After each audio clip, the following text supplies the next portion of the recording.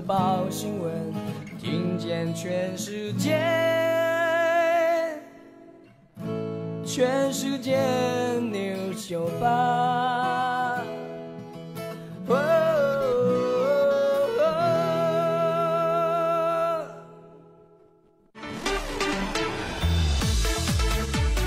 新闻、股市、产业趋势，掌握理财脉动，大家一起发发发！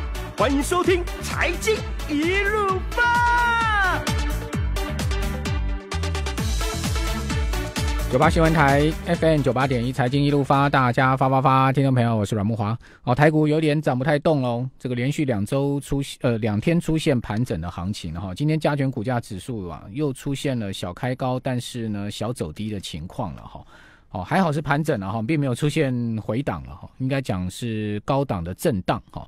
那今天加权股价指数开盘是涨五点哈，那收盘呢是跌了一点五七点哈，几乎是收在平盘了哈。不过，呃，全天的波动幅度非常的小哈，涨点呢，呃，这个波动的空间呢，这个指数空间很小哈。今天高点是一万零一百三十五点哈，低点是一万零。八十二点，好，所以全日的波动空间只有五十三点而已，哈，呃，反倒是资金簇涌到中小型股票去，哈，我们先前一直在跟听众朋友讲，好，这种抢钱的红包行情呢，资金行情呢，好，可以讲说是热钱行情啊，一定会去呃找中小型股票，哈，他不会去找大型股票，因为大型股票啊，好比较难操，好，中小型股票容易拉抬，好，所以你可以看到今天贵买指数呢，啊，继续往上走高哦。哦，今天是涨了一点零一点，哈，涨幅是百分之零点七五。好，贵买指数今天收在一百三十五点六二点哦，再创了波段的反弹新高，而且成交量非常的大，哈。昨天贵买的成交量在四百七十九亿，今天的成交量达到四百八十一亿哦，连续两天的成交量都接近五百亿左右，这个量能哦是非常的大哦，这个非常呃可以讲说很热哈，人气会去会会脆的地方哈。所以说呢，这个贵买指数啊，有时候涨起来是涨翻天了，跌起来是跌翻天了哈。好，那这一波的特色哈，就是走走一些中小型股票。好，那今天期指是呃开低走低的啊。那今天开低四十一点，收盘跌五点哈，是尾盘呃盘中有拉上来哈，一度突破平盘哈。今天呃成交口数只有九万七千口哈。最近期货市场比较冷哈，台子期呃上了一万点之后啊。呃，开始成交量变小，好，今天收在一万零八十点哈。那三大法人的操作哈，呃，今天外资啊跟昨天正好相反，好，昨天是昨天是买现货，但是呢，呃，期货是减码哈，但是今天呢是买期货，但现货减码，好，这外资又在跟你打迷踪拳了哈，有一点这个让你呃摸不着边际的感觉，好，那详细的股市行情，等一下跟听众朋友再来报告哈。那今天重要的经济数据是来自于中国大陆哈，中国大陆第一今今天公布了一月份的外贸数据是优于预期的啊，那出口成长百分之十四，好，进口成长百分之十百分之三，好，另外的消息传出来啊，就是呃，川普啊准备要延长这个贸易战休兵再六十天，好，我们前年有跟听众朋友讲说，三月二号啊，如期把这个关税提高到二十五趴的几率很低很低了哈。因为提高到二十五趴，基本上就代表双方扯破脸了哈，就没得谈了，哦，会打得更厉害了。那我相信呢，不至于到这样的田地，哈。所以说呢，我们先前的预期就是说，有可能会再延六十天到九十天。果然今天消息传出来，哦，川普准备再延六十天，哦，那延六十天，我觉得最终达成贸易协定的地点在哪里？在日本的大阪，好，因为先前讲说有两个可能性，一个是三月中。哦，呃，川普邀请习近平到佛罗里达的海湖山庄去会谈，哈，两个人洽谈最终的协议，我觉得这个可能性很低了。哦，因为这个习近平应该不至于笨到说自己去自投罗网嘛，哈，瓮中捉鳖嘛，哈，到到这个川普有主场优势的地方去。好，那五月份哈，因为原本两个人就要在大阪哦的 G20 的峰会会面，好，所以说呢，仿效上一次十二月好阿根廷 G20 的峰会啊。两个人在会外的会面，在第三地啊，呃，双方都没有主场优势的情况之下，我觉得这样可能性比较高。好，所以说呢，五月的时间点应该会是达成贸易战最终协协议的这个时间点。但所谓的最终协议，应该也是一个阶段性协议了哈。这个中美贸易战两国的竞争呢，恐怕不会是只有一纸协议能搞定的哈。好，那今天呢，我们第一段哈，呃，除了一些重要的国经国际讯息啊，财经的焦点以外啊，我们今天要来跟听众朋友来谈一下呃，Money 前月宽二月号的精彩内容啊。那首先我们要来谈的是如何用四趴法提早退休。哦，讲到退休，大家都很很想象这个空间很大嘛，对不对？想说我什么时候才可以退休啊？哦，那是退休要有钱，好，不然的话恐怕你是无法这个过一个好的退休生活了。就算你真的能退休，好，但你没有口袋没钱，你怎么过日子，对不对？好，所以说呢，什么叫四趴的退休法？哈，这个什么四趴的法则呢？我们今天要来呃请教 Money 前月刊的副总编辑张国联，在我们节目现场哈，我们今天有直播。好，所以听众朋友上我们六九八官网哈，你可以看到我们今天的直播画面哈。国联你好，主持人好，各位听众朋友大家好。好，其实张国联是已经有退休过一次了，对不对？哈，这个先前中场休息不是退休 哦，中场休息，你那个休息一年也蛮久的时间，两年半又十八哦啊天，两年半又十八天，哇，这个也是算是休了一个很长很长的这个中场休息了，对不对？好，这个主要做一些人生步伐的调整嘛。对呀，可见张国仁是口袋有钱的。没有，没有，没有，真的没有，不然不会现在还在努力工作。您您您客气了哈。好，其实张国仁蛮会理财投资的了哈，他有他自己理财投资 paper。不过这期的前月刊有写到一个呃威廉班根，对不对？对，他是麻省理工学院的学者哈。对。好，他在一九九四年提出了一个理论，哈，就是叫做所谓四趴的。提早退休法则对，因为他主要分析呃长达七十五年的一个股市跟退休的一个案例哦，他发现就是呢，只要你在退休的第一年哦，从你准备好的退休金当中呢，你领不超过四点二 percent 的金额当生活费的话呢，之后你每年依照那个通货膨胀率稍微调整一下下，但是记得不要超过四点二 percent 的话，那么你的退休金到你。去上天堂的那一天哦，你都花不完。等于说你在退休的这一段生活当中，你就不用担心没有钱生活。么是四点二 percent 呢？这是他经过概算的。那这个这个四趴的一个法则呢，又称为安全体领域。这是他经过那个七十五年的一个观察，跟一些退休案例，他去概算出来的。那这个意思呢？因为我们知道坊间其实大家因为关心退休的议题嘛，都想到说自己的退休生活怎么办，所以有很多的建议方法理论呐。那这个四趴法则呢，其实它是。怎么准备退休金里面的其中一个理论跟方法？那这个方法是呃，简单来讲，就是你必须先辛苦在前面，对，透过前面一段时间的累积一笔资金之后，是，再利用适当的一个理财工具，然后呢，开始有效率的去。累积你的资金，然后每年只提不到四 percent 的一个金额来做退休生活。这边举个例子哦，因为我们知道有时候算退休金很难算，对不对？对。到底要多少才够？那这边这个四趴法则呢？它给你一个很简单的公式，就是说，假设你一个月是需要五万块的生活费，那一年是不是六十万？对。六十万你去乘上二十五倍，嗯哼，那大概就得到一千五百万。是。这一千五百万呢，就是你大概预估你退休后需要的。资金，嗯嗯，那这个一千五百万呢？你算出来之后呢，你就知道说，哦，如果现在开始你要准备这一千五百万，你要怎么准备？是，把它当成你的第一桶金，嗯嗯，然后就开始滚，这是他的逻辑。那这个案例呢？这这个四趴法则，其实国外有很多人在。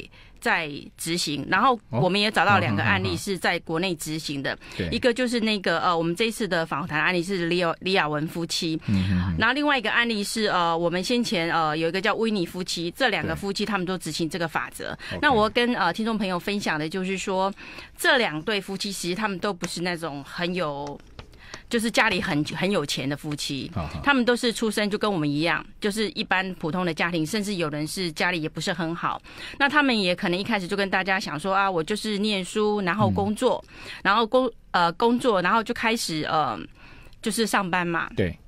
但是呢，因为他们后来在上班过程当中发现说，难道我一定要这样每天朝九晚五，然后每天辛辛苦苦，然后就这样一直工作到六十五岁吗？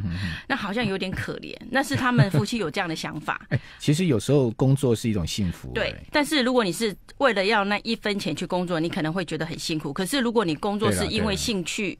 对，那可能就不会那么辛苦。就是你人生把工作放在什么位阶了？对对对。如果说你今天只是因为不得已啊，为了赚钱养家糊口而去工作，而这个工作你又很讨厌又很不高兴去的。对，哦，或者没兴趣的，那你应该会过得蛮痛苦的。是是。哦，可是如果说你很热爱这份工作，然后他同时又能赚到钱，那应该是很棒的事情了。对啊，然后我先谈一下其中一对一个一个夫妻，那个李尔安夫妻哦，这一这个夫妻呃，这个这个太太呢，她其实后来有出一本书，叫做《我用菜市场理财法从月光族变成富妈妈》。嗯那她本身就是，当然她跟老公她一起工作，对。然后后来老公去了中国，那她反正他们就经历过一些。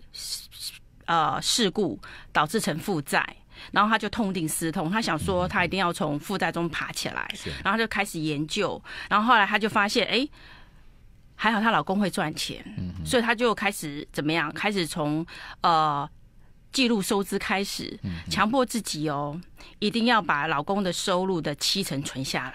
哇！对他花了十一年财富自由，但是呢，他说过他前几年的省钱过程当中，所以他没有工作，他是靠老公一个人上班。对，但是他们还有生小孩。OK，然后老公七成的薪水全部被 saving 下来，被储蓄下来。对，还好她老公。哇，那他们日子过得很节约啊。对，他说过他前几年后来，因为他本来一他记账之后，他发现他一年可能家里的整个总开支大概是两百多万，然后呢，他就开始找里面可以。快速减肥的地方，譬如说，可能你要包红包啦，或者是呃化妆品啊、包包之类的，他就开始省省省省省，然后开始就是有计划的从最大项去省下来。然后他有说，他发现他有一段时间好像过得。他他的形容说比禽兽还不如，他就觉，譬如他举个例子，就说他女儿生日哦，有这么严重吗？他女儿生日，然后他就带他女儿去买生日礼物，就站在那个两块钱人民币的地方，叫他女儿去选那种是不是塑胶类的那种玩具当生日礼物。他是很不忍心，但是他告诉自己，因为他要财富自由，他有个目标坚定，所以他就告诉自己说一定要这样做。他就把头转开来，让他女儿去选。可是到了某一段时间，他发现这样不行哦，这样太苦了，所以后来他有抓出就是，嗯，他们家到底一年多少的开支可以过得稍微 OK，不要过得那么惨，嗯就他就抓出来大概是一百零四万。所以从原本两百万的开支减到一百零四万，就是说砍对半了。是，所以这个是要下很大的决心，而且要。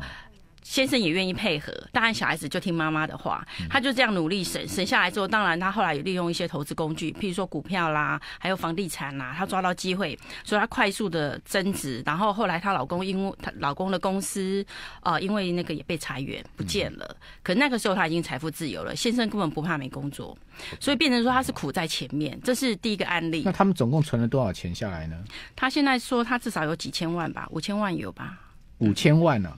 嗯，五千万，那他跟这个四趴的法则有什么关系？哦，我举个例子来讲哦，当他有这些这第一桶金之后呢，他就开始做资产配置。他他他本身是透过呃房地产的出租，再加上股票的收益，然后他就让他的整个投资组组合的配置，可能譬如说年化报酬率有八趴或者是十 percent，至少要超过四趴嘛。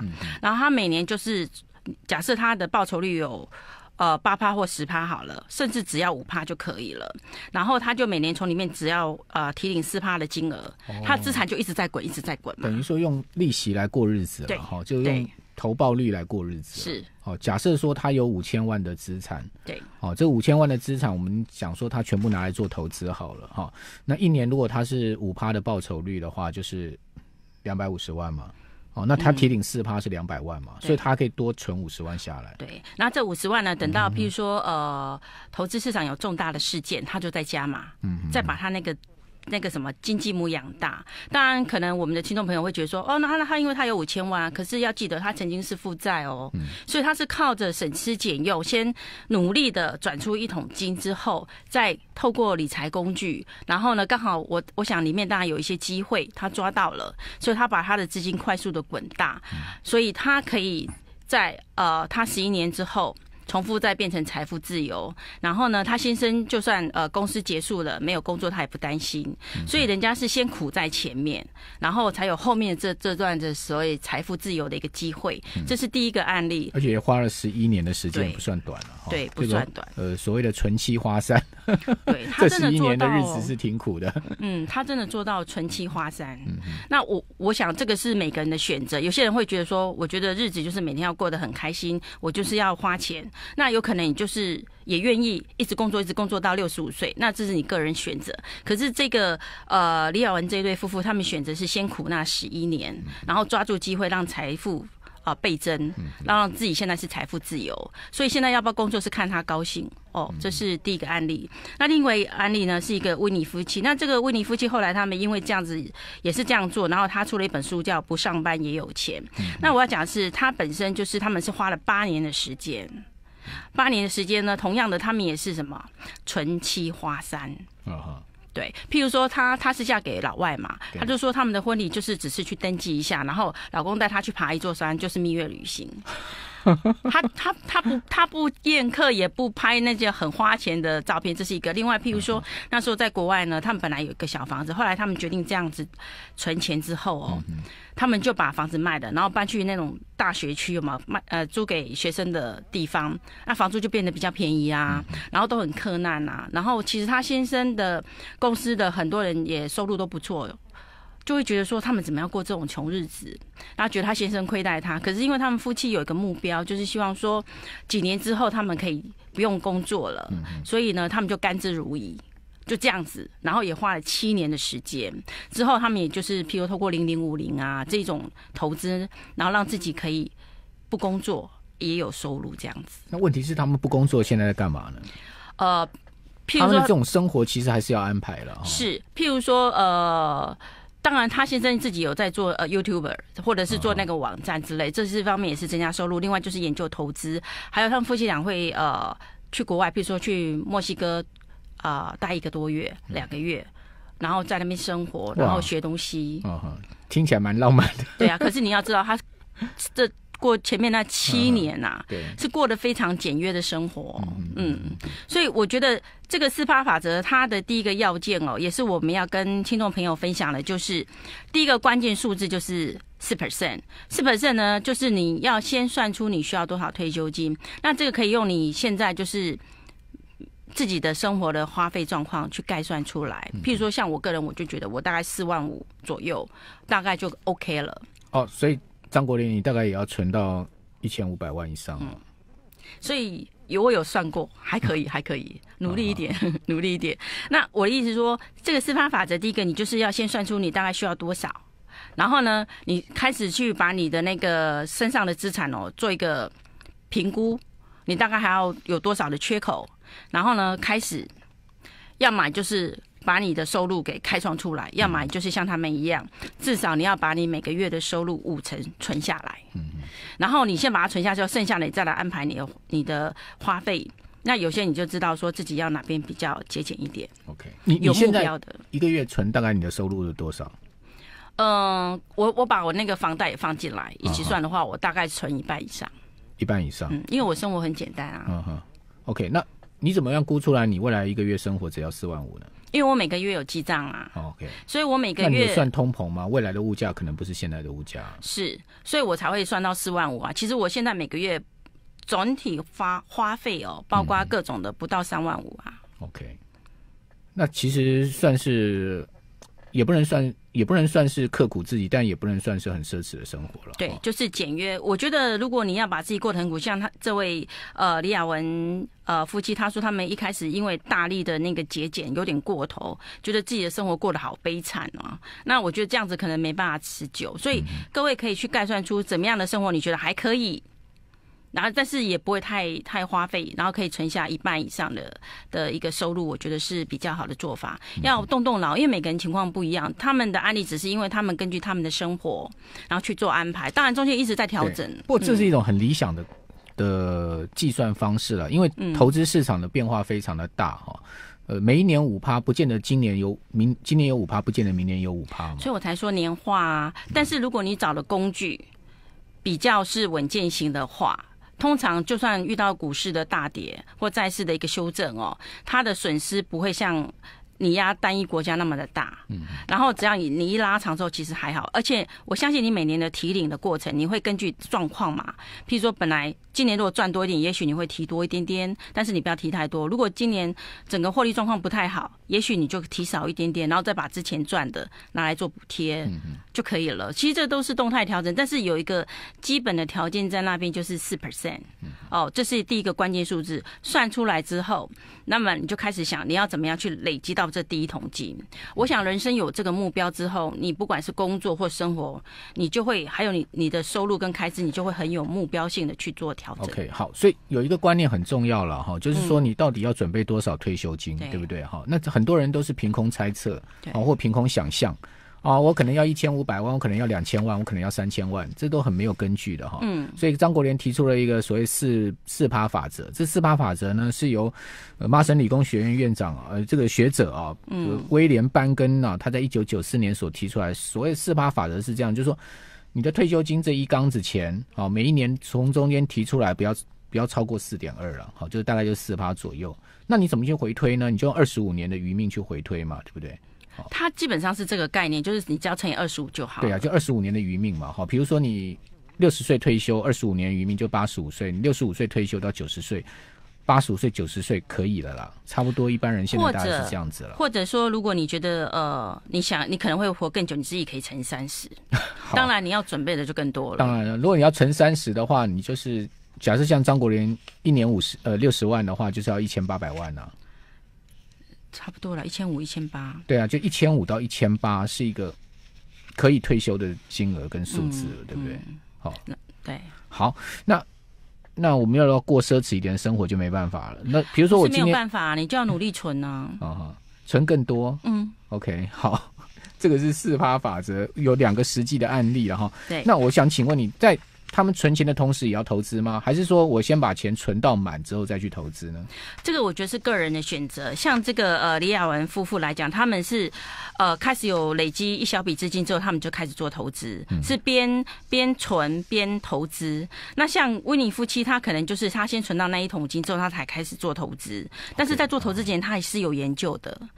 而且像像以威尼夫妻来讲，因为他们夫妻俩不是财经背景的，所以他们选择的就是被动式的一个指数 ETF 做投资。那像呃李小文夫妇来讲，因为这个太太她就是一直在研究投资，所以她可能有买个股，那又买呃 ETF，也有也有去买不动产做呃房子出租，所以它是比较多元的。那我觉得这个工具一样，就是说你还是要根据你自己的能力跟你的呃。研究的结果去做安排，重点是因为你是一个长期的，你一定不可以冒太大风险。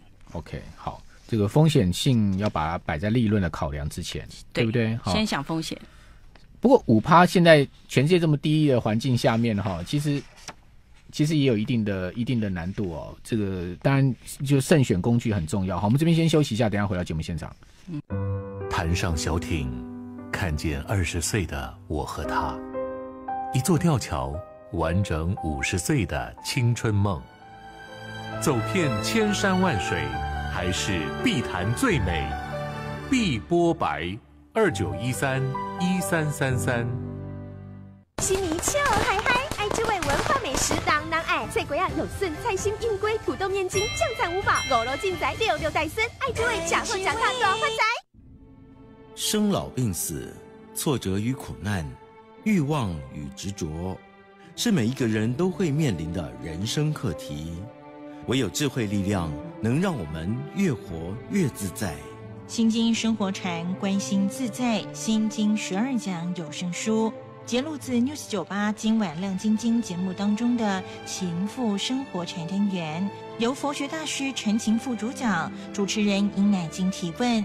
将《心经》从历史的起源、架构及内容分成十二个主题，带您循序渐进，熟悉佛法的脉络，更加了解其中的精髓与修行法要。《心经》生活禅，观心自在，《心经》十二讲有声书，一套六片 CD 装及导灵书一本，News 九八电台贩售，每套四百九十九元，订购洽询专线零二八三六九二六九八八三六九二六九八。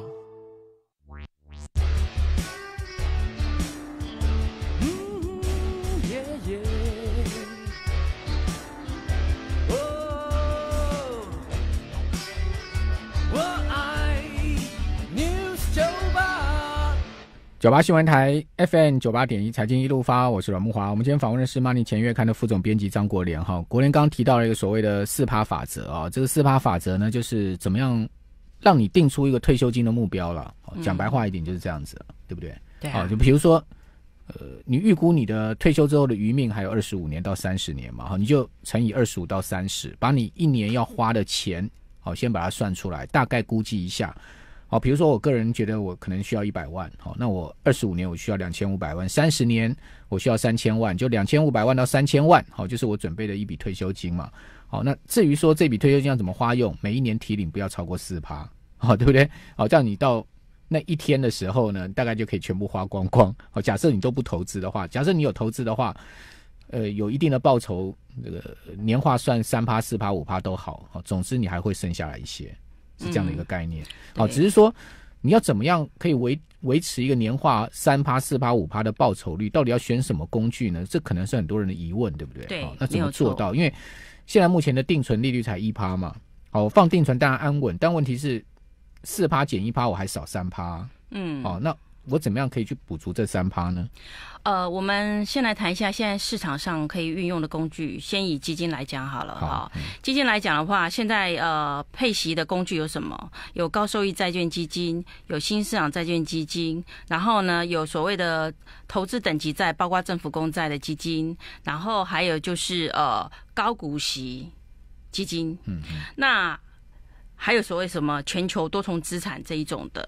好，那这些商品来讲，我们如果从拉长来看的话，其实这些商品当中，呃，可以达到年化报酬率五趴左右，然后波动性又比较低的。当然，你追求越高的年化报酬率或者是配息率，你承受的那个风险就要越高嘛。对。那这样的情况之下，我们会觉得，呃，像。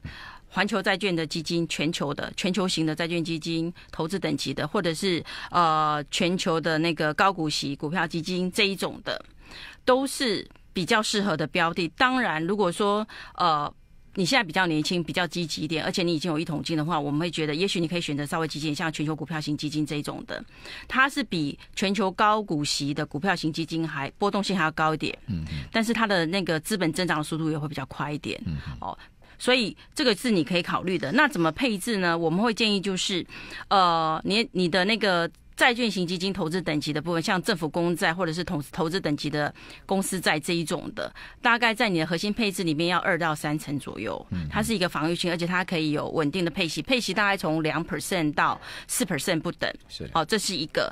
那另外呢，如果说你是比较积极，你可以加全球股票型基金；如果是比较保守一点，用全球的所谓高股息股票型基金。那当然，你如果觉得都很麻烦，我就是不要什么股票啊、债券这种，我就加一个全球多重资产型的基金。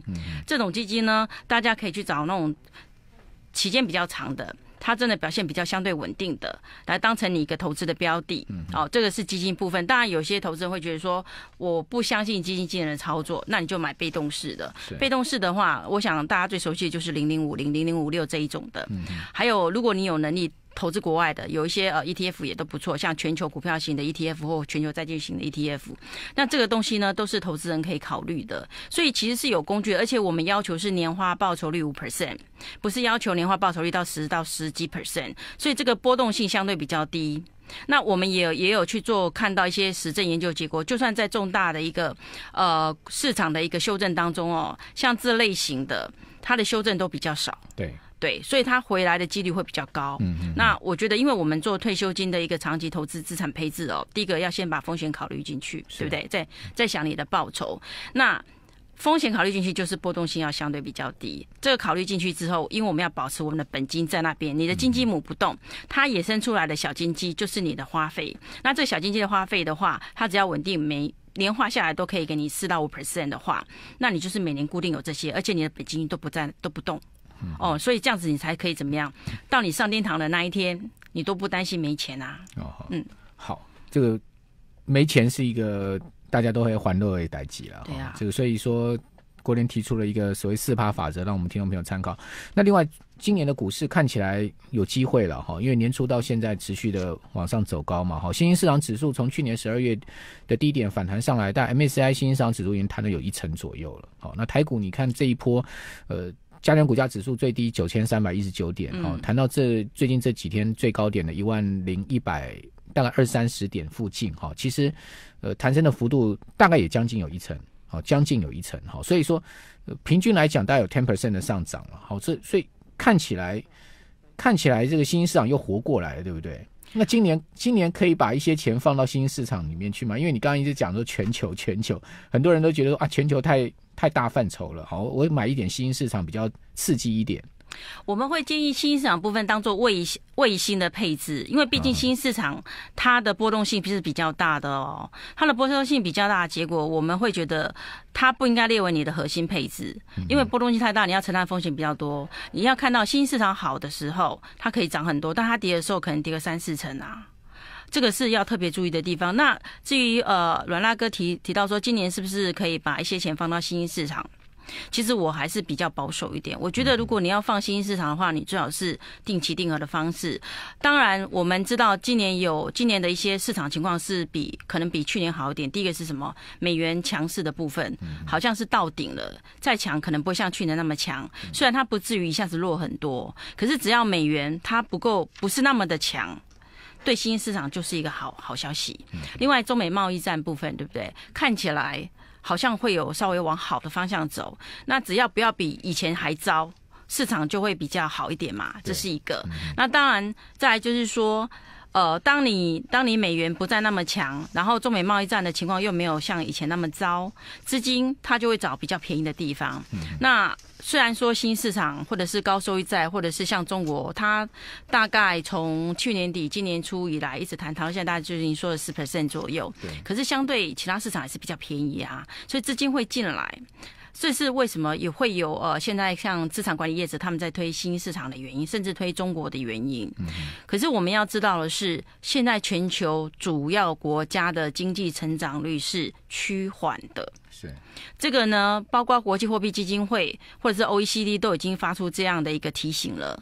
所以各位看到资本市场这么的活泼，可能不要忘记，其实全球经济增长是在减缓的。那这样情况下，告诉你说，有可能这样这一波上来，它还是会休息，可能没有你想象中的会弹一直弹上去。所以，如果你真的想要逢低接一点，可以的。就是定期定额，或者是你就是呃，它只要有一个比较明显修正，你就再接，千万不要一下子就把钱扎进去。好，那今年可能是一个颇震荡的行情哈。那个抗震必备美债跟中国债，嘿，哦，这个也是你们这一期的专题嘛，对对不对？好，为什么要中国债呢？中国大陆的债券为什么是一个抗震必备呢？哦，这个要跟大家说明一下哦。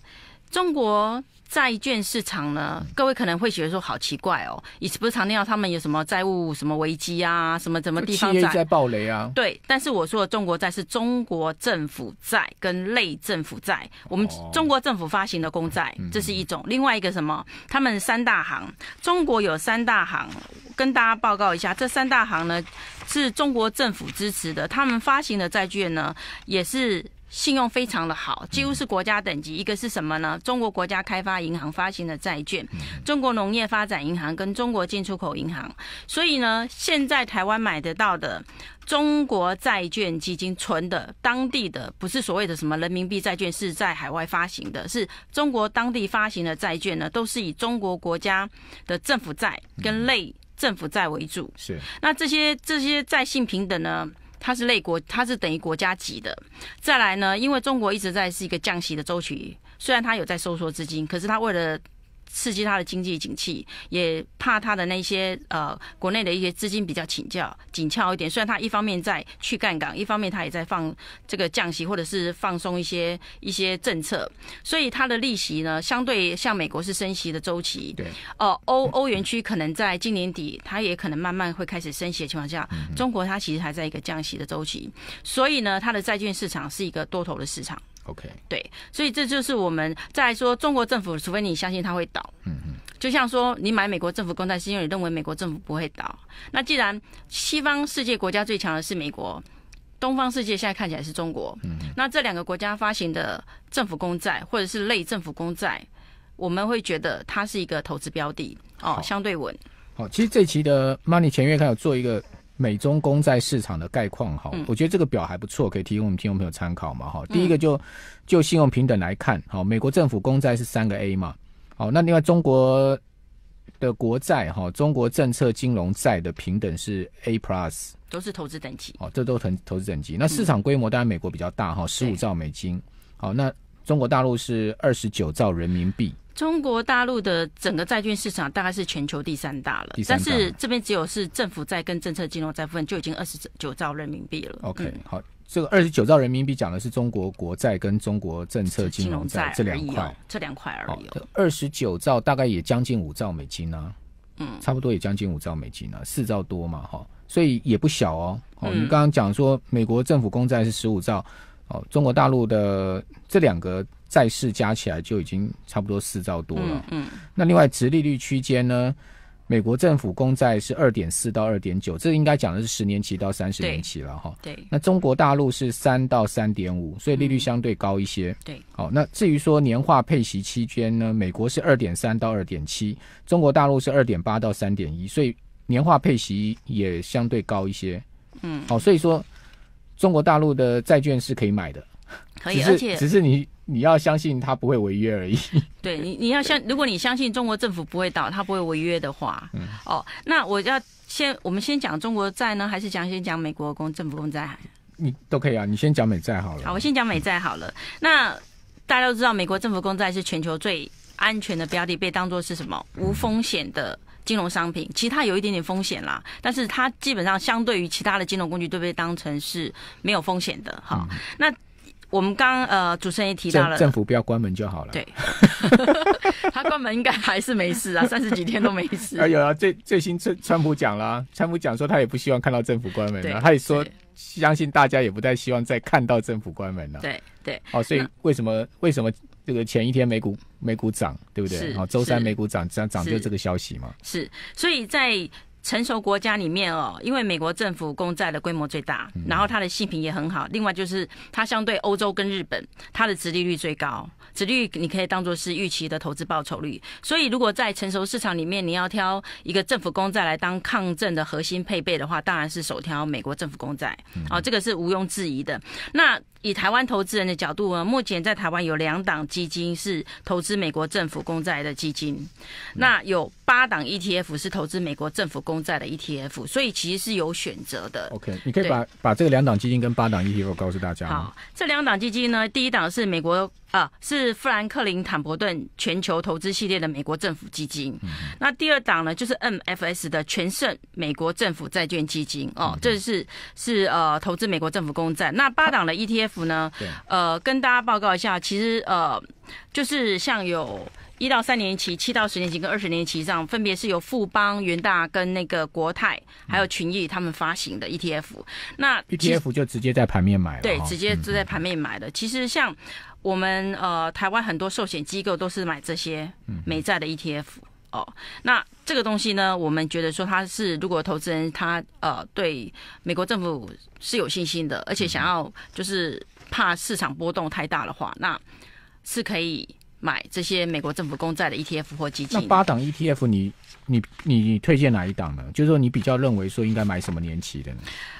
呃，一般我会建议人家买的是二十年期以上，因为这样的话你的那个配息率会高一点。嗯可是呢，因为年期越长，波动性会稍微大一点，所以如果你像我这样子，就是希望能够呃配息率高一点的话，那就可以买二十年期以上。可是如果你觉得你还是怕它波动性太高的话，因为这二十年期以上的那个波动率的话是接近股票了，是。是接近股票了，那你可以买七到十年期的，那相对的你的配息率可能稍微低一点。哦，好，比如说我们举例一个元大美在二十年的 ETF 啊，对。它的代号是零零六七九 B。嗯，好，今天它的价位哈、是三十八块六毛六上下。哦，我现在马上 key 给大家看。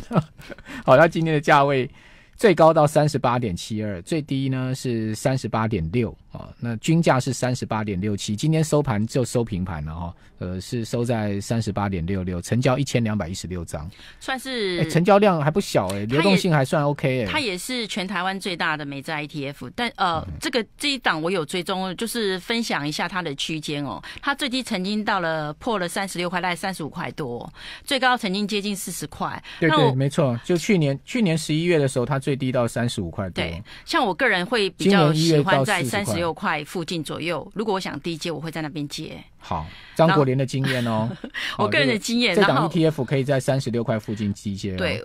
根据它的那个走势来讲，如果我想要分批买的话，如果我不是透过什么定期定额买 ETF 的这样的机制的话，那我自己会在三十六块左右那附近开始慢慢接。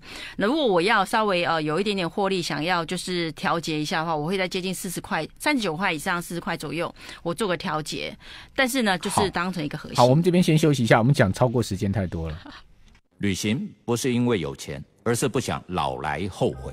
泰永旅行社精心设计，葡萄牙、纽西兰、奥匈节、俄罗斯、加拿大，兼具品质、品牌、品味的深度旅游。泰永旅行社零二二七一七二七八八，或上网搜寻五幺七六四，我要去尝试。你喜欢广播吗？对呀，我爱死声音了。你会关心正在发生的新闻吗？是的，我每天都要收听国家大事哦。你喜欢和人聊天吗？我喜欢和不同背景、各行各业的人交流学习。那么，请你描述一下自己的个性。我觉得我是一个热情积极的人，朋友还说我很机灵，反应很快呢。我来担任这份。如果你拥有以上特质，并有一年以上广告业务相关经验，九八新闻台欢迎您加入 A 一行列。洽询请拨八三六九二六九八八三六九二六九八转行销业务部，或上九八新闻台官网查询。爱让视野无限宽广，德恩堂与肤质镜片寒冬送暖公益配镜活动，用爱与关怀陪伴弱势朋友，看见世界，看见希望。德恩感恩报恩，德恩堂眼镜与你看好每一天。使用前请详阅说明书警语及注意事项。卫部一期书一字第零一三五八三号及北市卫气广字第一零八零一零二三六号。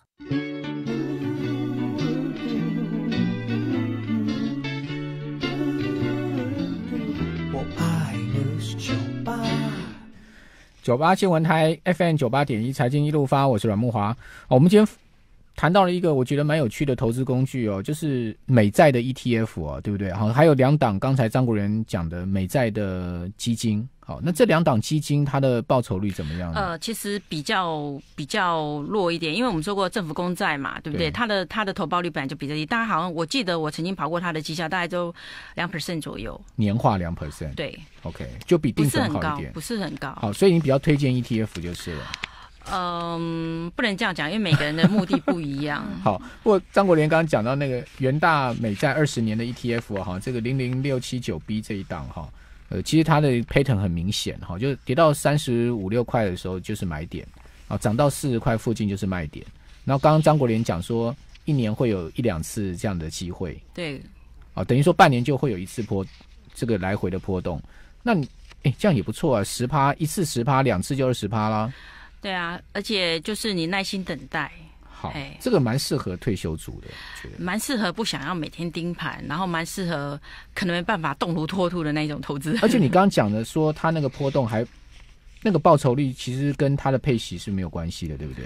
对，它是资本资本利得。好，所以你可以像像元大美在二十年这档，它最近一次的年化配息是二点六八，它还还有配二点六八利息给你。对啊。OK，所以我是觉得说，你可以有一，你可以 hold 一个，把它当成一个核心词配备嘛。嗯。然后呢，你可能就是在它三十六块以下左右附近开始慢慢接，它可能涨到三十九块以上，你可以调节部分。嗯。可是呢，你又可以享有它每一季的配息。那这个操作呢，就看个人的喜欢。我是从它成立以来到目前，大概看一年大概有一到两次的机会是可以有这个十八左右的一个资本增值空间。哎，不错哎，它成立是二零一七年一月十七号成。它的配息，它配息是季配息，对，每一季配息。然后最近一次的年化配息率是二点六八，不是配二点六八年化哦，就是说一年四季的话，它总共配二点六八哦，对不对？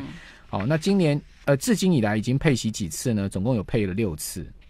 哦，就二零一七年应该是配，他一开始本来是年配，后来他一开始年配，后来就是因为其他同业发行都是季配，然后寿险公司也要求要季配，所以他们就改型变成季配。OK，哦，所以蛮多，其实蛮多外资跟寿险公司去买这个 ETF 的。对啊，其实不止元大的美债，像其他同业的，他们国对了，我们不是帮元大推荐了，对还有对对对。富邦也有二十年美债的 ETF，好，富呃国泰也有。国泰也有，对。哦，对比，富邦是代号是零零六九六 B，嗯。国泰的代号是零零六八七 B，听众朋友可以呃这个 key 一下哈，自己把他们的线图调出来看一下。嗯，去抓住它的那个区间的一个一个一个走势。嗯嗯，嗯，好，那配息率哈，目前看起来是嗯元大美债二十年是最好。哎，对不起啊，是国泰二十年美债最好。国泰二十年的美债是二点七九，好，嗯元大是二点六八，那富邦的是一点一四。哎，富邦怎么输人家这么多、啊？那个有时候可能是跟他们的呃成立的时间，或者说他们的呃配息的政策有关，嗯这个可能要仔细再了解一下。但是但是刚刚主持人提到一个重点，如果他的配息率同样的一个，譬如说二十年，人家会比配息率嗯嘛？如果他的配息率没有调上来的话，那他在市场的交易的量就会变得比较低。OK，好，所以这个羊毛出在羊身上就对了，你的意思是这样子，呃配息率好一点，交易率交易量就高高一点因为。大家都会想要抢配息率高一点的嘛。好，嗯这个倒是蛮不错的，可以给我们听众朋友参考，因为我们听众朋友蛮多退休族的哈。呃，如果你既不想伤脑筋，又害怕风险，然后你也想要利息可以拿。好，然后呢，你也可能可以赚一些区间财的话，哈，你是嗯真的可以去注意这八档美国公债的 ETF 哦。对，好，我们讲说台湾挂牌现在有八档美国公债的 ETF，好，这个包括群益二十五年的美债哈，零零七六四 B，好，元大美债一到三年的零零七一九 B，好，剩下六档我就不念了啦，好这个念没那么多时间了。嗯，好，那我们再讲说，呃，大陆债呢？好，这个提一下哦。因为我刚刚提到中国，我们讲的台湾有卖的，就是所谓的中国国债跟政策金融债。那刚呃，其实呃，阮大哥已经提到，就是一个性平很好。另外，我要提到一个重点，就是它免税。中国政府呢，它为了要鼓励外资进来。其实我们知道，今年 MACI 或不不止 MACI，就是像花旗这些指数都会把中国的债市纳入，所以资金呢会引导流进中国债市，这是第一个。那这些外资呢流进中国债市，第一个一定买的是什么？国债跟政策金融债。对，哦，所以这个市场会越来越活络，这是第一个。那第二个呢？中国政府它为了呃积极引进外资呢，它有提供一个税率优惠。以前呢。投资中国国债是免税的，可是投资政策金融债呢，所有的税率加起来大概要十六 percent 被课，十六 percent 的税 对，但是中国政府它宣布，从去年的十一月七号到二零二一年的十一月六号，三年的期间内呢，政策金融债免税。好，那这个呢，其实很大的利多。所以，所以呢，那这个这个免税的优惠呢，也会激励外资呢积极的去抢进他们的国债跟政策金融债，这是第一个。那我们在台湾合备的基金当中，只有一档是共同基金，就是野村的中国境内新兴债券基金，这是去年才成立的，其他的时间没有很长。那有七档的 ETF，那这七档的 ETF 呢，可呃期间不过你刚刚讲说它成立没有很长哦，但它年初到现在的报酬已经两趴多了。这个中国债是，尤其是国债跟政策金融债，去年是大多头。为什么？因为中国政府它有四次的降息，对对对，哎，是降准啊，降准类似，但是它其实就是在调降利率。不不不是降息啦，降准，它四次每一季降一次利对那个存准率了。对，但是它降的话，它降息好像它降息好像二零一五年之后没有降过了，因为它利率也很低，它现在目前利率只有三趴嘛。不过今年是有可能会降息哦，今年有可能会降准又降息哦。好，那因为这样子，所以它其实去年的债市算是一个多头，嗯哦，算是很很多就多头，所以可以看到这样的绩效不错。那另外有七档的 ETF，那这七档的 ETF 也有其实分成呃零到一年、三到五年，以及五年以上或十年的。对，那我们还是一样，就是到期日越长。对利率敏感度越高，它的波动性会越大，这是呃要提醒我们的听众朋友。这七档 ETF 哪一档的交易量比较大？呃，这七档的 ETF 来讲的话，我知道目前推的最积极的，像是国泰的跟元大的这两档是比较知名度比较高的。OK，对，就国泰中国证金在这一档是不是？对，还有元大的，算是比较早。这档的代号是零七四四 B，零七四四 B。好，所以听众朋友可以上网这个 key 一下哈。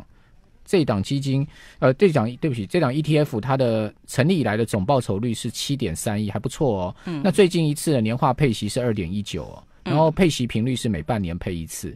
哦，至今配息几次呢？至今配息一次，因为它是去年八月三号才成立，都是很晚成立的。可去年八月三号成立到现在，它的这个报酬率已经是有七趴多哎，再加上配息，这样就十趴嘞。是，才八月到现在才几个月的时间。但是我要提醒的就是，因为中国政府他在去年，他一方面去杠杆，一方面他就是降准，降准，然后他把资金导呃就是引动到那个债市，所以让他那个利率是往下的。他希望那个债市的资金不要那么紧俏，所以债市是多头的。嘿，OK，好，所以如果今年中国大陆继续降准降息的话，债市还是会多头嘛？对不对？这应该是确定的嘛。是，所以听到没有，你除了美债 ETF 以外，你更可以去注意中国政策金融债的 ETF 哦。然后这一期的 Money 前月刊有列出七档哦。那我要提醒大家，因为中国国债跟政策金融债哦。他们都是半年才配孳息，所以 ETF 也是半年配，这是要提醒大家。另外呢，元大中国它赚比较多啊，真的吗？半半年季配、我也是这么觉得啦。我觉得季配真的是，我觉得要赚比较多比较重要啊，对不对？对，好，那这个是我们提醒大家。但是我最后一件事情提醒我们的听众朋友，就是我们会建议哦，如果你手上有中国股票型基金呢，你可以搭配中国债券基金或 ETF 做什么一个风险调整的组合哦。嗯这是比较好的。可是如果你手上没有中国股票类型的标的的话，那么你买中国呃政策债或这些 ETF 或基金的话，它就没有所谓的抗震效果，纯粹就是你是投资用。嗯，这是一个。那如果说你像你有其他的一个呃股票型基金，全球的啦，或者是其他呃一般的股票型基金，像国国外的、海外的市场，那我们建议你还是优选哦美国政府公债基金或 ETF 做抗震会比较好。好，这个。国联今天带来非常宝贵的资讯，让大家参考。谢谢张国联，谢谢。亲爱的，春天我们去日本。